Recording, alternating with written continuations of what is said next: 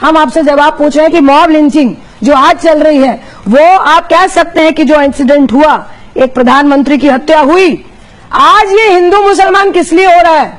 आज जानवर को पहले क्यों बचाया जा रहा है? आज आप यहाँ पर खड़े होकर बोल रहे हैं बाहर जाके बोलेंगे भैया गाय को पहले बचाओ इंसान को बाद में बचाओ। बिल्कुल। अभी आपने बहुत कुछ बोला। आपने मिनिमम बैलेंस की बात की। ज़ीरो अकाउंट खोलने की बात की। उन्होंने बोला, बत्तीस करोड़ खुल गए। मैं जवाब पूछ रही हूँ, भैया, उसमें पैसा कितना आया? पैंतीस सौ। पैंतीस सौ रुपए अगर आपका मिनिमम बैलेंस नहीं है तो अमीर आदमी का नहीं, गरीब आदमी का पैसा कटता है। एसबीआई बैंक काटता है, हाथ उठा के बताओ करता है कि नहीं करता उज्ज्वला योजना की बात कर रहे हैं। उज्ज्वला योजना की बात कर रहे हैं। गवर्नमेंट का डाटा है कि जिनको पाँच करोड़ महिलाओं को इन्होंने उज्ज्वला योजना दी ये गैस एजेंसी को फ़ायदा पहुँचाया। पाँच हज़ार में जो आप कनेक्शन लेते हैं, वो सोलह सौ रुपये में देके किसका पैसा वो सब्सिडी के रूप में गैस एजेंसी को दिया? आपके पॉकेट का, सरकार का खजाना किसका होता है? आपके पॉकेट का पैसा गैस एजेंसी को दिया और कहा कि भैया सोलह सौ रुपये में हम आपको गैस चूल्हा दे रहे मान गए?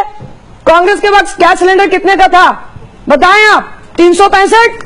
मैक्सिमम तीन सौ तीन सौ अस्सी रुपये अभी सब्सिडी वाला सिलेंडर कितने का है? नौ सौ रुपये का। और ये डाटा गवर्नमेंट का कहता है कि अगर पाँच करोड़ ने ली या चार करोड़ ने ली एक महीने के बाद सारी बीपीएल महिलाएँ जो ये घरेलू आँसू बहा रहे हैं संदीप भाई जाके गाँव में देखें वो दोबारा चूल्हा जला रही हैं और गालियाँ दे के बोलती हैं कि भैया चार सौ रुपये पेंशन में नौ सौ रुपये का गैस सिलेंडर कैसे लेंगे?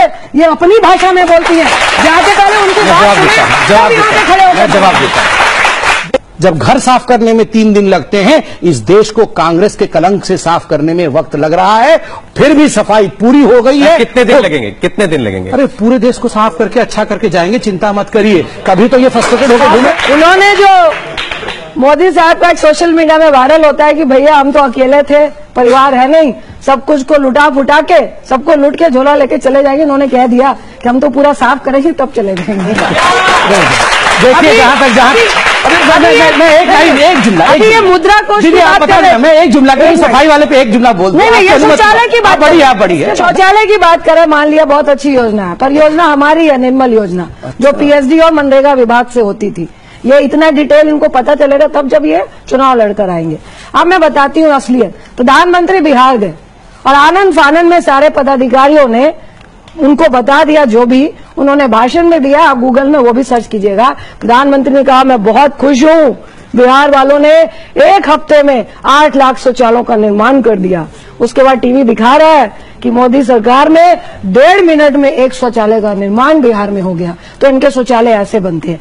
बीबीसी का आप खबर देखिए, जो वाराणसी प्रधानमंत्री का कंस्टिट्युएंसी है, जहाँ से जीत कर है जो उन्होंने प्रधानमंत्री आदर्श ग्राम, गाँव लिया उनके शौचालयों का जो बखान है बीबीसी ने किया है जहाँ पे पानी नहीं है शौचालय में वो जो हम धान का वो रखते हैं ना सिक, संक- सिकरी वगैरह वो सब पड़ा हुआ है। और वहाँ महिलाएँ कह रही हैं भैया चाहे प्रधानमंत्री का क्षेत्र हो लेकिन पानी की व्यवस्था दी नहीं है तो शौचालय कैसे चलेगा? तो ये व्यवस्था आपके शौचालयों की। बारह हज़ार में कौन बोलेगा कि शौचालय बनता है? एक तो बारह हज़ार में बोला शौचालय बनाओ। फिर कहा कि इंदिरा आवास के साथ हम अटैच करेंगे।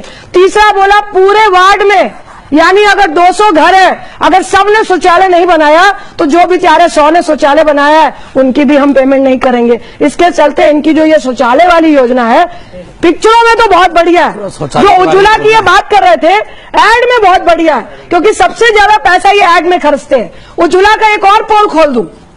आज भी आता है मोदी साहब कहते हैं कि भैया ये भी कह रहे थे कि महिलाएँ चूल्हे में आँसू बहा रही थी तो मैंने मिडिल क्लास को बोला आप सब्सिडी छोड़ दो। हम लोगों ने 130 सब्सिडी छोड़ दी 130 करोड़ आ गए।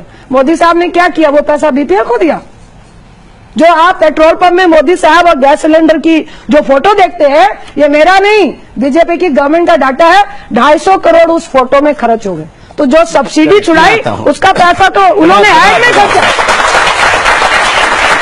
मोबाइल की बात कर करते जियो को याद करा दिया। जियो आखिर आपको मुफ़्त में मिल क्यों रहा है?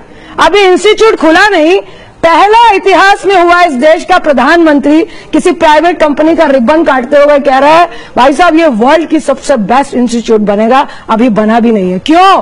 क्यों आपको मुफ़्त में दे रहे हैं? आज जिस तरह से रिलायंस ग्रुप और जियो ग्रुप आप फ़ोन उठाए तो पहले प्रधानमंत्री का भाषण आता है और उनकी ऐड आती है। यह जो कंपनियों से मिलीभगत करके पूरे देश के आवाम को लूटने का जो काम हो रहा है ये आपके प्रधानमंत्री साहब कर रहे हैं। आप हमें सिर्फ़ इतना जवाब दे दे सिर्फ़ इतना जवाब दे दे कि प्रधानमंत्री की ये डोकलाम की बात कर रहे हैं इनसे पूछिए। जो नो कॉन्फिडेंस मोशन में राहुल गांधी जी ने डोकलाम के बारे में चर्चा करके पूछा कि क्या बात करके आए तो प्रधानमंत्री ने जवाब क्यों नहीं दिया? क्यों फौज को आगे ज़बरदस्ती भेज दिया? और ये फौजी थी जिन्होंने इज़्ज़त रखी। आप तो सिर्फ़ इतना बता दे कि खरबों रुपए इस देश के विदेश यात्रा में जो कभी जापान के प्रेसिडेंट के साथ चाय पीते हैं तो एक जोक भी आया कि भाई साहब, यहाँ पर मुझे कुछ नहीं देना है, बुलेट ट्रेन भी नहीं देनी। बोले, क्यों? कहते, जब आप प्रधानमंत्री के पास चाय पीने का तीन घंटे का टाइम है तो यहाँ बुलेट ट्रेन लेके क्या करोगे? तो आप सिर्फ़ ये बता दें मुझे कि ये विदेश के दौरों में प्रधानमंत्री साहब ने हमारी जेब के कितने पैसे खर्चे हैं? फिर किसान का